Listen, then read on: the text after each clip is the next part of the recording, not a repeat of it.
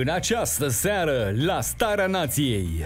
O nouă directivă de la PSD Cămașa albă și dacă se nasolește treaba Să aveți la îndemână și o pereche de pantaloni maro. Iohannis a zis că citește motivarea CCR până o înțelege. Hă, Și noi care credeam că măcar prin decembrie așa o să ia o decizie. Doamna Udrea, a, ei, mai mâncați niște mango, niște avocado, iar de Crăciun vă punem sarmale la avion.